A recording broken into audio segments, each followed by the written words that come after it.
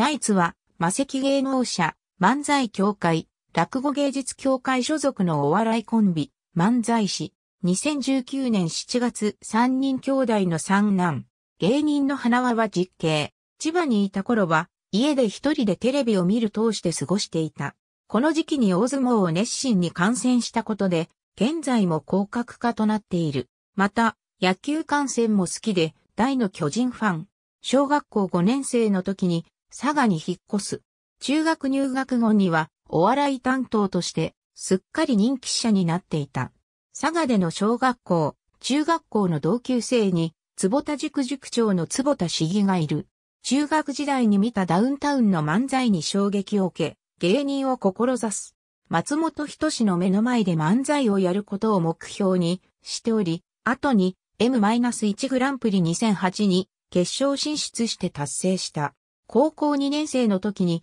テレビ西日本のオーディション番組第3回劇からお笑い面大使に出場し優勝している。しかし、千葉出身のため標準語に戻したかったこと、さらに、ツッコミで売りたくないという理由で、優勝直後自分からコンビの解散を宣言し、大学入学と同時に上京。当時の相方が後を追うように上京し何度も説得したが、その信念を変えることはなかった。モノマネレパートリーに、内海恵子、昭和コイル、布袋智康、籠池康則、花輪、中馬鹿、桂歌丸、作木間などがある。漫才やラジオなどで披露する。特に内海のモノマネはデビュー当時から行っている。2007年6月、史上最年少で漫才協会の理事に就任。2009年2月11日に一般女性と結婚。2014年2月18日に第一子が誕生。2012年3月2日、NHK 佐賀放送局開局70周年、記念地域ドラマ、あの人、あの日に、主人公、氷東信之役で、実刑、直樹と共に出演した。その後も2013年1月1日放送の、商店お正月スペシャルの、モノマネ大喜利でも、直樹と共演している。2013年、テレビ朝日、マツコ有吉の怒り神道で、レギュラーとしてナレーションを担当している。2015年4月26日、速報。有吉のお笑い大統領選挙にて2代目、お笑い大統領に就任。2015年6月12日、漫才協会の副会長に就任。2016年5月18日、第2子が誕生。2018年6月17日、第3子が誕生。2018年12月2日、M-1 グランプリの審査員を務める。2019年12月22日、昨年に引き続き、M-1 グランプリの審査員を務める。演歌歌手の津島明の息子。大学生時代は公認会計士を目指していたが、勉強についていけなくなる。その時に、大学の落語研究会のライブをよく見に行って癒されたということで、自らも落語研究会に入る。落ち県では山銭というコンビでシュールなコントをやっていた。山銭という名前は当時1年上で部長だった花輪が命名。就職活動中に花輪から誘われて芸人を志すようになった。ナイツの野法じゃない方と言われることがある。そのため、じゃない方芸人として2009年4月9日のアメトーークに出演し、自身の目立たないエピソードを披露した。2009年3月7日放送の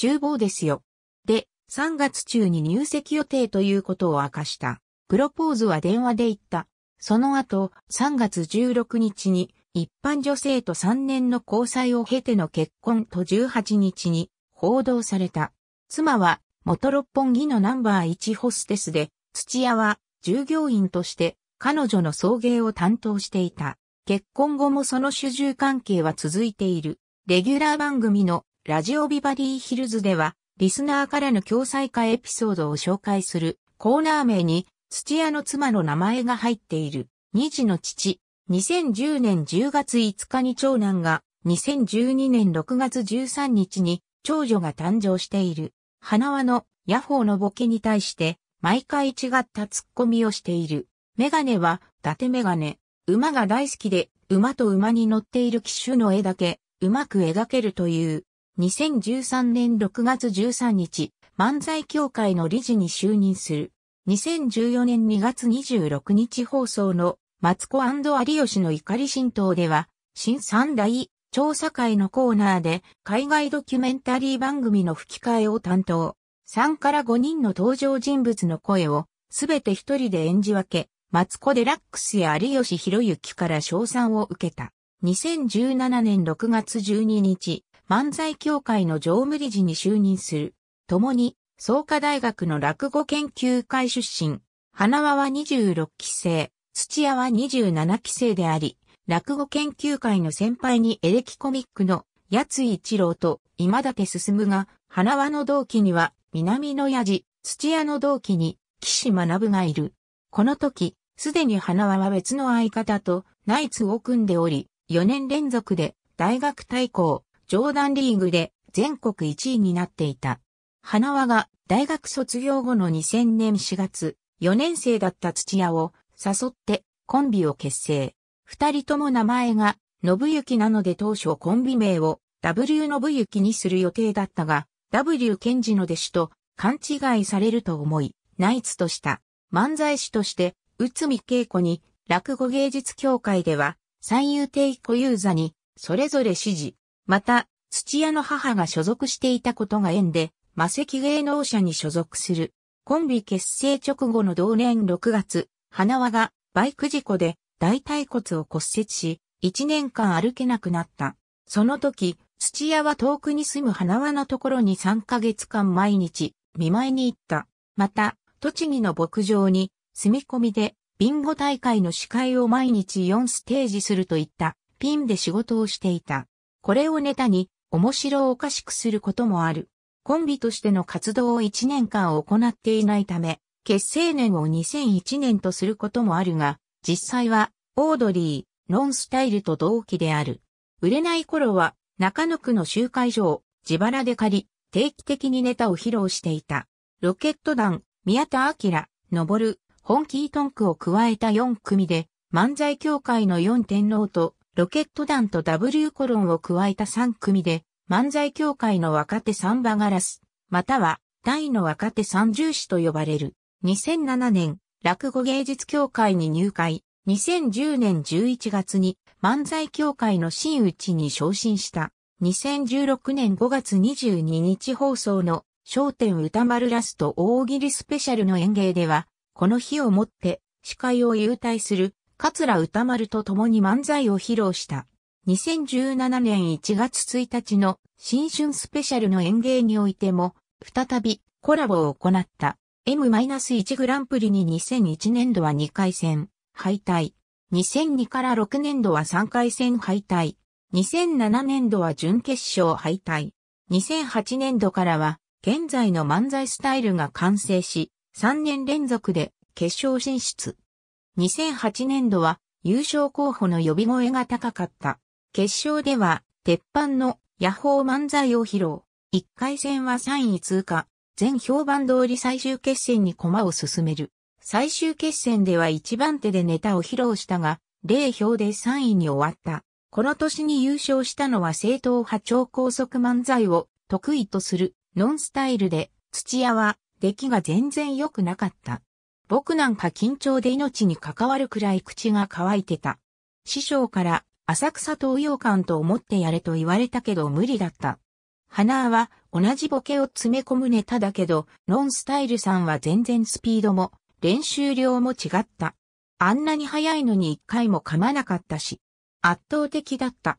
と振り返っている。また花輪は、実は二人とも調子が悪かった。いつもは受けるネタをやってもリズムが悪いというか、キレのない145キロの球みたいだった。僕はあまりコンテストの優勝は目指さないんですよ。僕の中では、受けたいだけ。それができなかったのが M-1 です。とも述べている。同大会で2位だったオードリーとはこの大会以降、番組共演が多く、また、良い関係を築いている。前年度に引き続き優勝候補の呼び声が高かった2009度は1番手でネタを披露。1番手は最も不利とされるが、トップバッターで逆に他のコンビと比べられることがないので落ち着いてできたとのこと。暫定3位につけたが、敗者復活枠のノンスタイルに7点差で抜かれ、最終結果は4位。この年の優勝は、ナイツと同じく緻密で練り込まれた正統派漫才を得意とするパンクブーブーで、土屋はパンクブーブーさん、笑い飯さんの一本目のネタを見て、これは正直負けるかなって思いました。花輪は笑い飯さんがすごいのは分かってたけど、パンクブーブーさんのネタの完成度にはショックを受けたと振り返っている。ラストイヤーとなった2010年度は5番手でネタを披露。銀シャリと1点差で暫定3位につけるも、最終順位は6位に終わる。この年の優勝は、W ボケという変化球漫才を得意とする、笑い飯で、土屋は、出番直前の煽り映像で、ニューナイツと紹介されたんですけど、蓋を開けてみたら、パンクブーブーさんの方が大きく変わっていたという。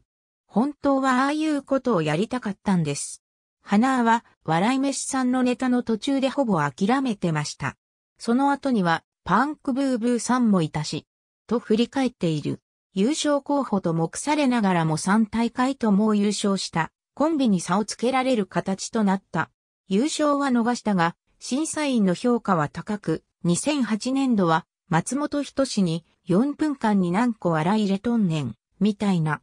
すごいなと思って、決勝も見たいと思いました。投票され、2009年度は不利とされるトップバッターにもかかわらず、島田紳介に皆が困ったのは基準点になるんですよ。だから、本来は88点ぐらいで止めたいんですよ。ただ、去年よりめっちゃ良かったね。1年間で進化してるし、土屋上手くなったよ。と絶賛された。2010年度は、宮迫博之に、ジャルジャルや、スリムクラブみたいな漫才のカテゴリーなのかわからない。コンビがいる中、正統派の漫才でやっぱり上手かった。ただ、落ち着いてやりすぎたかな。渡辺正幸にネタ自体は評価しつつも、今一つ勢いがない。なぜなんだろう。勝ちに行くぞ。という気持ちがちょっと見えない。もったいないと評された。島田紳介はスリムクラブで自分の審査基準がおかしくなった。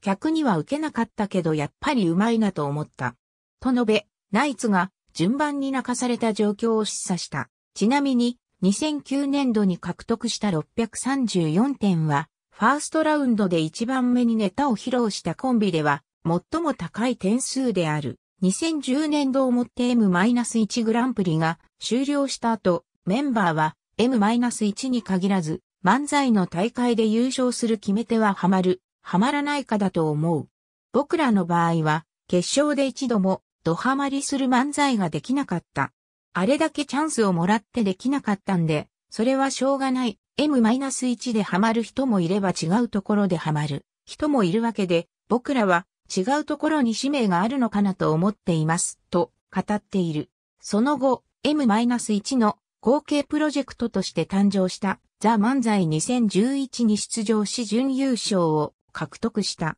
大会自体が5年ぶりに復活した2015年度では、出場資格が、それまでの結成から満10年以内から満15年以内に延長されたこともあり、出場。得意の時事ネタで順調に勝ち進むも、決勝8組には残れなかったため、敗者復活戦に臨むこととなる。しかし、この敗者復活戦で披露したネタはそれまで披露してきた時事ネタとは一変した吉幾三の俺ら東京作業具だを題材としたかなり異色のネタだった。また、今回の敗者復活戦では視聴者が配信された動画を見て投票するというシステムだったのだが、ナイツはネタ中で俺東京作業具だをほぼ丸々披露していたため、権利上の関係でネタのほとんどがカットされるというかなり不利な状況に立たされてしまっていた。しかし、このような状況に反して票数は伸び、敗者復活戦での最終順位は3位となり、決勝進出を逃した。なお、この年でラストイヤーを迎えたため、翌年以降は出場しなかった。2018年度は花輪が優勝経験のない過去の決勝進出者では初めて決勝の審査員を務めた。当初は一般的な漫才や野球ネタを披露していたが、2007年に落語芸術協会に入り寄せ向けの漫才に触れるようになったことで、つかみだけで15部の長尺をやりきる漫才を模索するようになる。3分間で100個ボケられるかを試したところ、できたために、花輪が一方的にボケ続け、土屋が突っ込みながら、それを訂正する現在のスタイルが誕生した。初めてのネタ見せでは、チーフマネージャーからあっさりダメ出しを食らったが、納得いかずに、劇場で披露したところ抜群の手応えを感じそのまま、ナイツのスタイルへと定着した。また、野球のネタばかりの中に一つ、野球以外の脱線したボケを入れると受けたことから、野球ネタの比重が少なくなった。以前は過激なツッコミをすることもあったが、テレビへの露出が増え、土屋は、ツッコミの際に、ボケの鼻輪を叩くことは、ほとんどしなくなった。ナイツの著名な漫才の芸風は、ヤホー漫才と称される。花輪が興味を持ったことをインターネットで調べ、それを覚えて発表しながら間違える言葉遊びのようなネタを得意とする。これが爆笑レッドカーペットで好評となり、同番組2008年12月17日放送分でヤフーから花と記念品をプレゼントされ、ついにヤフーから公認されたことを告白した。ちなみに NHK では会社名を口に出すことが NG なため、この部分を土屋が工夫している。花は、漫才は音楽の持論を持ち、しゃべくり漫才はロック、ノンスタイルはポップミュージック、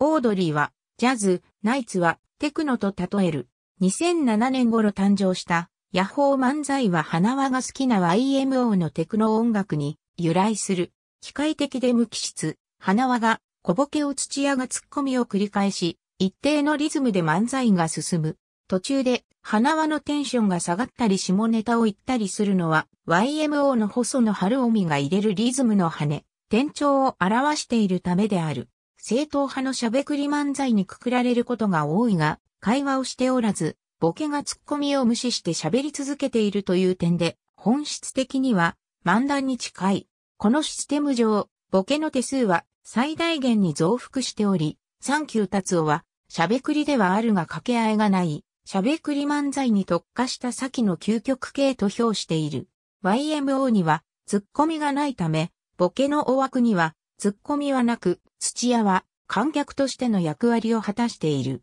同じネタでも、演じる場所や、客の年齢層によって、話し方、内容、スピードなどを微妙に変える技術を持つ。寄せなどの年配者が多いところではゆっくりと語り、セリフも多く、爆笑レッドカーペットなどの持ち時間の短いところでは、簡潔にテキパキと畳みかける。2010年以降は、自己紹介や花輪の趣味を題材にしたネタを頻繁に披露している。流行や社会をテーマにしたネタも作るが、従来のようなヤホーのボケは組み込まれなくなっている。花輪が漫才の中盤で調子が悪い。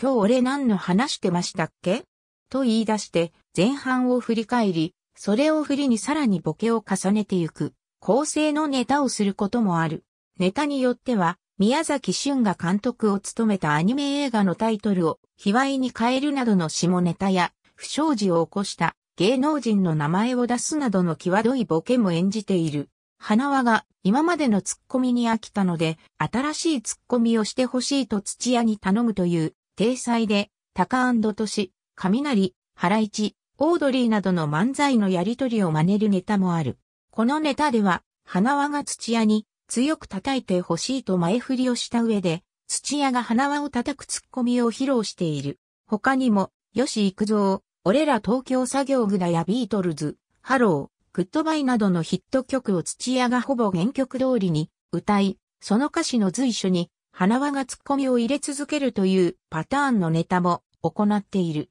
寄席、演芸場での経験を活かし、近年は、古参、ベテラン芸人をネタにしたトークを、バラエティ番組などで披露している。テレビからお呼びがかからないなど、ほぼ揶揄に近い言い回しで、ネタ同様に花輪が畳みかけ、土屋が突っ込むパターンが中心である。現在のレギュラー、編集過去のレギュラー、編集過去の準レギュラー、編集その他の出演、編集他多数現在のレギュラー過去のレギュラー現在のレギュラー現在の準レギュラー過去のレギュラー土屋信之に関するカテゴリー、花輪信之に関するカテゴリー、ありがとうございます。